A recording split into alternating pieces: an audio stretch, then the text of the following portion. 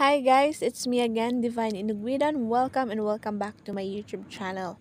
And kung bago ka pa lang sa aking YouTube channel, I don't forget to subscribe and i-click mo yung notification bell para lagi kang updated sa mga susunod kong videos tungkol sa mga YouTube tips and tutorials and TikTok tips and tutorials.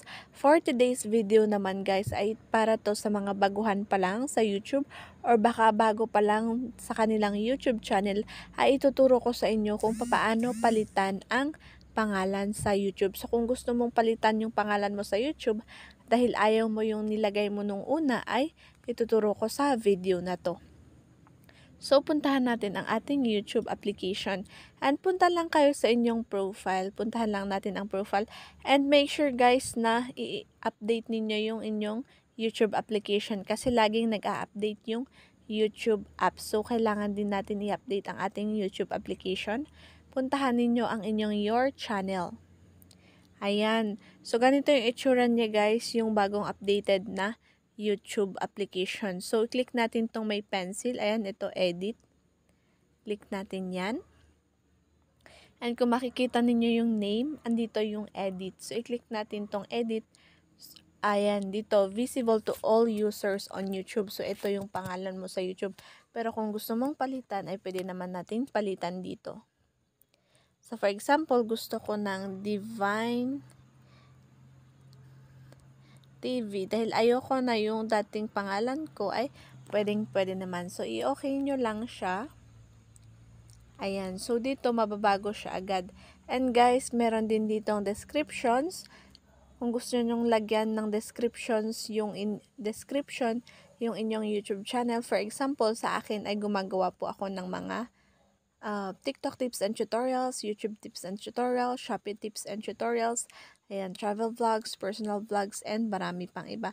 So, pwede din kayo maglagay. So, kapag meron kayong mga visitors sa inyong YouTube, ay babasahin nila kung ano yung tungkol sa inyong YouTube channel. And kung makikita nyo na din, um, may makikita kayo dito na keep all my subscription private. So, pwede din ninyong itago ang inyong mga subscribers uh, count counts, subscriber counts. Keep all my saved play playlist private. Ayan. So, pwede din ninyong i-private yung playlist ninyo. So, sa akin, hindi siya naka-private. So, tignan natin kung napalitan yung pangalan natin. Yan. I-back natin siya. And, ayan guys. So, Divine TV na siya ngayon. So, napalitan siya guys. So, search natin.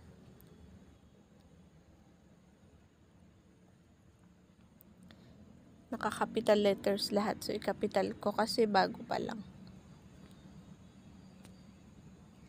Ang dami kong kapangalan.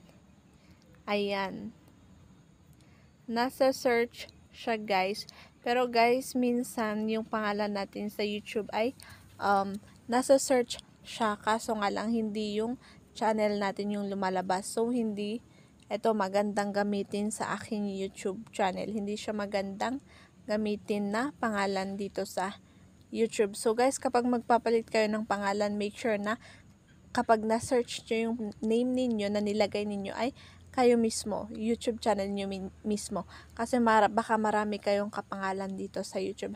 So, ayan, napalitan yung name ko guys, pero uh, hindi siya searchable. So, papalitan ko, babalik ko yung dating name ko, ayan. So, uh, pakita ko lang, example lang itong nilagay ko. So, palitan ko ulit siya. Divine Inugwidan. Ayan. Don't forget to subscribe. Ayan. And I hope uh, natutunan nyo kung paano mag-change ng name dito sa YouTube. So, this is for the beginners only. Yung mga baguhan dito sa YouTube. Ayan. Thank you.